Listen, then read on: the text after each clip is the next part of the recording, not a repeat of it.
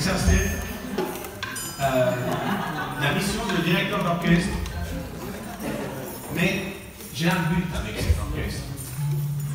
J'ai le but que cet orchestre soit presque autonome et puisse, et puisse avoir, et puisse aller au-delà de, de ce que je puisse imaginer.